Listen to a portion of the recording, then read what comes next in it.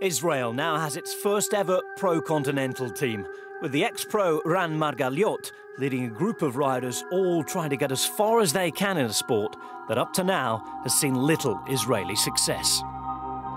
So it was July, uh, the TV was open, I saw the Tour de France, and, and I decided I want to be there. Obviously, there was no Israeli rider who ever raced the Tour de France. I realized quickly that I was simply not good enough. I lacked the talent, and at the same time, uh, I just didn't go through the same path that riders in my age would have go through in other countries. At, uh, on top of a mountain near Jerusalem, I met a guy called Ron Baron. His, uh, his passion for cycling is huge. He's been supporting Israeli cyclists for many years, living at his home. We're a non-for-profit startup sports team started by a few crazy people who thought they can, they can make it to the Tour de France uh, with people coming from countries like us.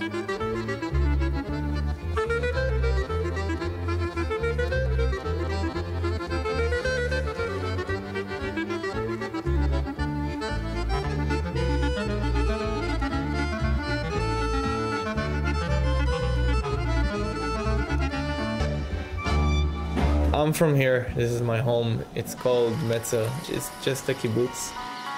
Kibbutz is a form of uh, Israeli settlement, and I grew up here.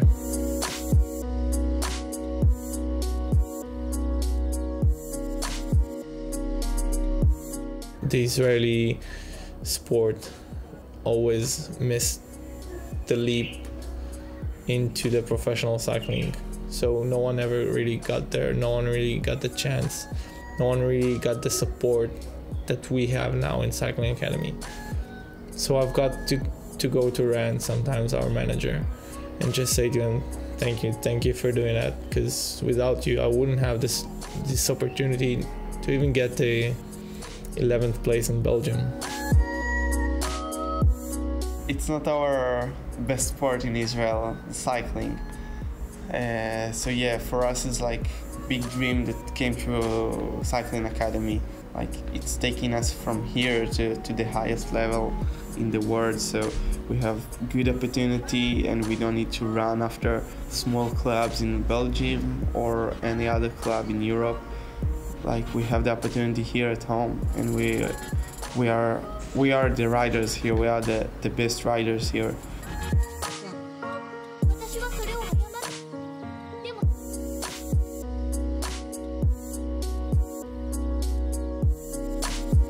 And we have, uh, I, think, I believe, one of the most international teams in the, in the peloton. We have 16 riders coming from 12 different countries. Uh, so a part of our three Israelis, we have uh, two Canadians, an American, a Mexican, Estonian, Latvian, Czech, uh, Australian, New, uh, New, Zealand guy. Uh, we, we have everyone.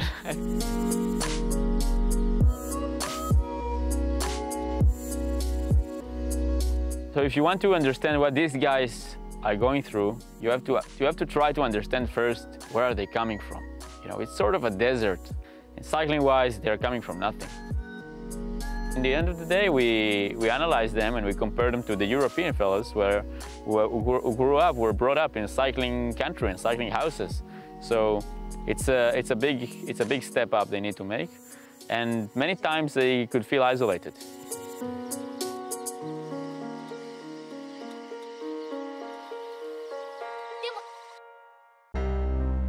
If you come from a small country, you would probably know about this team. It's, it's like a bit more of a clear pathway. And I think that's something that's lacked in the cycling world in the past. The, the clear pathways for, for people from smaller countries in how to get into the professional peloton. Hubo un momento en el que me di cuenta que como mexicano tenía, tenía dos opciones si quería en verdad seguir en el ciclismo. Una era quejarme de que soy mexicano y de que los equipos no me quieren. O podía tomar mi posición de mexicano y convertirlo en una ventaja. La Ciudad de México es la segunda ciudad más grande del mundo. Entonces, alguien le tiene que gustar la bicicleta entre tantas personas. Y si puedo ser yo esa persona que conecta a las marcas con, el, con, con los clientes de México, eso me va a ayudar a mí también a, a, crecer en mi carrera.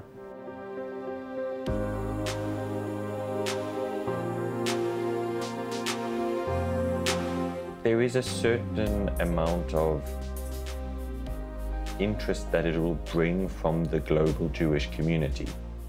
They have come out in the past to support this team.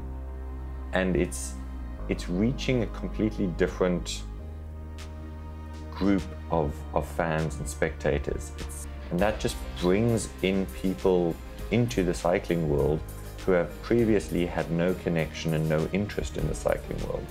And it's absolutely beautiful. And I believe this sport has the opportunity to, to create a better society.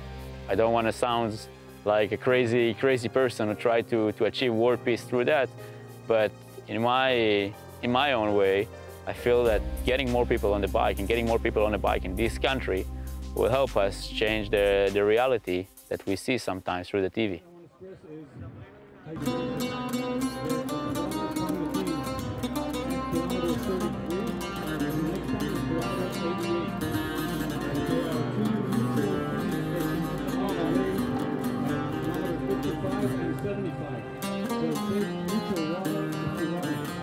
Tour of Arad or Grand from the Dead Sea, for me is like the the biggest, the, the best event in Israel. It doesn't matter where I stay in the world in, in this moment, I just go to take part in this event.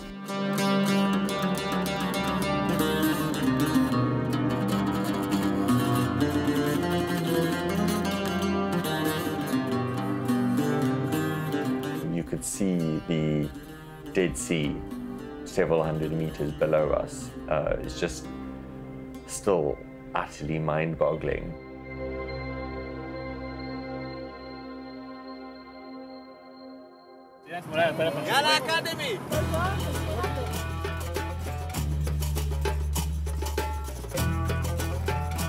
Approximately halfway through the Fondo, you, ki- you climb the Scorpion Climb, which is actually, I discovered afterwards, was built by the Romans in the first century.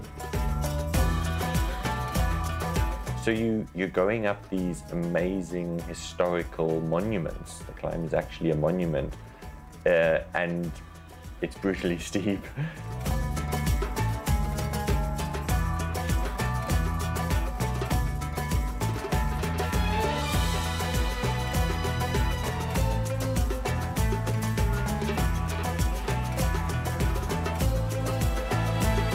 We've cycled with a good amount of hundreds of people, so they for sure remember us. And I just hope we could inspire some of them. And one of the other ways to inspire them is it's just to be the those guys who break the boundaries that we always thought it's impossible to break. Here I am at Pro Continental ranks. Why shouldn't I go to World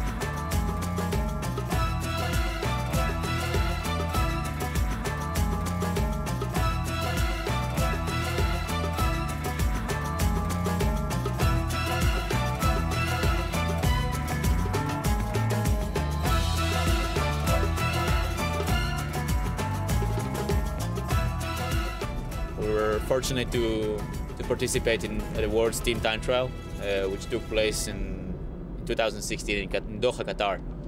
And this is not a place where Israeli riders are usually usually appear at. Our youngest rider, Guy Sagiv, who is the Israeli champion, is also, was also at the time serving in the Israeli army. And as a soldier, he was not allowed to travel to an Arabic country like Qatar. So I thought uh, with myself, what will be the punishment if I if I still I'll be there? And uh, I, I say yeah, it, it's worth it. So I just I just take the plane and, and went there. In Israel, uh, every every uh, adult man above 18 have to go three years for the army. It's obligation. Uh, so there, it's not existing in every other countries. So for us, uh, from age 18 to 21, you just have to be there. you cannot grow as much as you can in the pro cycling, uh, as much as you need. Also, it's uh, three really important years as, uh, as you're growing as a as a professional. Uh, so it slows the process, and uh, sometimes uh, most of the guys are not guys not continue with the with the sport. Might be an unacceptable or, or, it's hard to understand for people, but this is our way to demonstrate mutual commitment for, for our country and for each other because it's part of our life, the same way we pay tax, the same way we, we celebrate the, the holidays or, or going to school. Still at the same time, they, they are professional cyclists and they're racing in the same team with, with guys in their age. We don't have to do that.